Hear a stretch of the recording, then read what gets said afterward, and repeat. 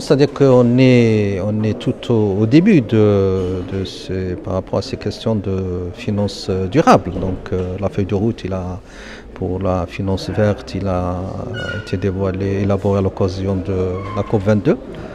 Et donc, euh, je pense que l'écosystème il est en train de se mettre en place. Donc, on est en phase quand même de questions assez, assez complexes. Déjà, la compréhension des enjeux climatiques, des risques financiers liés au, changement climatique. Mais on voit qu'il y a quand même euh, que d'abord les banques euh, qui ont commencé à prendre des initiatives pour intégrer dans leur processus de décisionnel d'investissement, de financement, les principes environnementaux. On voit qu'au niveau du marché, euh, qu'au niveau de la mobilisation des ressources vertes, effectivement, il y a eu quelques émissions, mais ça s'est pas très très développé. Ça a concerné des gros émetteurs et peut-être ces ressources sont plus orientées vers des gros projets. Donc, euh, j'espère que euh, cette dynamique euh, va continuer et va se développer avec la contribution de l'ensemble des acteurs. Il y a aussi les compagnies d'assurance, il y a les sociétés de leasing. euh, et donc, peut-être que votre question par rapport à la PME, bien sûr, je pense qu'à un moment donné, les PME vont aussi bénéficier de cette dynamique sur deux plans. Déjà, les entreprises doivent s'aligner sur les enjeux environnementaux et sociaux. Et donc, euh, les PME aussi doivent s'adapter pour intégrer les enjeux climatiques dans leur euh, processus, euh, donc leur processus de fonctionnement et de production. Mais en même temps, les- le secteur financier, les banques de financement doivent s'adresser à cette catégorie d'entreprises pour leur apporter les financements qu'il faut pour euh, encourager euh, les projets verts et, et durables.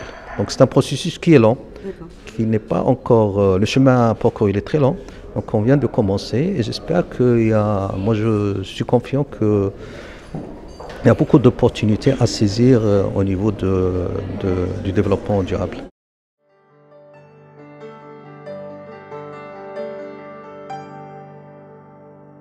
Alors le rôle de BAM, c'est déjà qu'il a coordonné cette feuille de route. C'est quand même très important avec l'ensemble des parties, le ministère des Finances, avec euh, les banques, euh, les associations de compagnies d'assurance, les autres régulateurs du secteur financier. Donc on a aujourd'hui une feuille de route, mais aujourd'hui on reste sur, euh, sur une feuille de route basée sur des engagements volontaristes et volontaires de- des acteurs financiers. Ce n'est pas une feuille de route qui s'impose.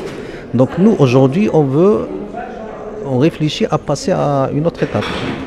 C'est de, de mettre un cadre euh, un peu plus exigeant, euh, un peu plus exigeant, mais aussi euh, un cadre qui accompagne un petit peu la, finance durable, qui, qui pose des, des- des- des- questions très complexes, notamment en termes de différenciation entre les actifs verts, dits verts, baptisés verts, et les actifs bruns, bruns ou carbonisés. Donc déjà, cette question, euh, il faut l'élucider, il faut mettre euh, des normes pour euh, faciliter aux banques de faire cette différenciation. Et après se pose la question des risques. Parce que quand on veut orienter les ressources d'un secteur carbonisé vers un secteur moins carbonisé, il y a aussi des risques de transition. Donc là, la Banque centrale aussi peut édicter des normes pour assurer une transition équilibrée et, et donc de- dans de meilleures conditions.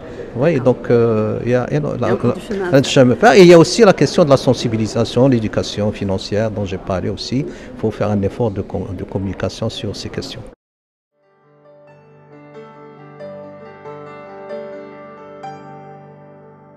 Ah oui, je, pense que le leasing, d'ailleurs, j'étais agréablement surpris par les résultats de l'enquête qui vient d'être. euh, ça rejoint un petit peu ce que nous avons en tête euh, comme données. Et donc, je pense que le leasing, il a toujours, euh, comme je l'ai dit, il a, le secteur du leasing, il a toujours su s'adapter aux mutations de l'environnement économique et financier. Il a pu diversifier ses produits et ses risques. Et parce qu'au départ, il a commencé par le, on a commencé par le leasing euh, mobilier, après on est passé au leasing immobilier, après on est passé au leasing concernant le fonds de commerce, le leaseback, etc.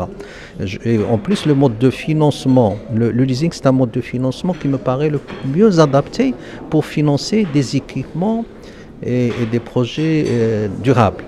Donc euh, il, est, assez souple, euh, Et donc le, secteur du leasing peut bien sûr contribuer de manière très active dans le développement de la finance durable, mais aussi il faut qu'il se tourne vers les régions parce que demain, c'est les régions qui vont, c'est pas l'administration centrale qui va continuer à gérer les projets au niveau national, mais de plus en plus on va décentraliser les, décisions d'investissement. Et donc demain, c'est la, commune rurale, c'est la commune urbaine, c'est la région qui vont porter les projets de développement durable. Pour suivre toute l'actualité d'EcoActu.ma, inscrivez-vous sur notre chaîne YouTube et rejoignez notre communauté sur Facebook et sur les autres réseaux sociaux.